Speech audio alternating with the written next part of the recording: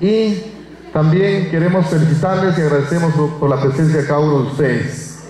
En esta ocasión me acompañan algunos compañeros, está nuestro segundo síndico, don Nemesio Canú, y otros acompañantes más.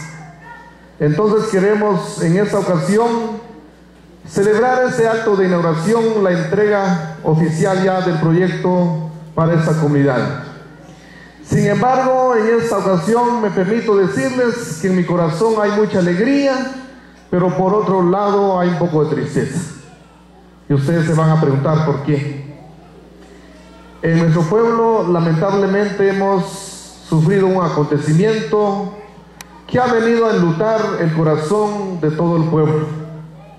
Precisamente el día de ayer enterraron al niño que había sido secuestrado desde el día lunes y antenoche fue encontrado cerca de su casa, tirado ahí, más o menos como a unos 30, 40 metros de su casa, en un callejón, atrás de un carro. Hubo mucha preocupación, definitivamente, desde el día lunes empezaron a coordinar las acciones la PNC, los bomberos, la municipalidad también haciendo lo suyo.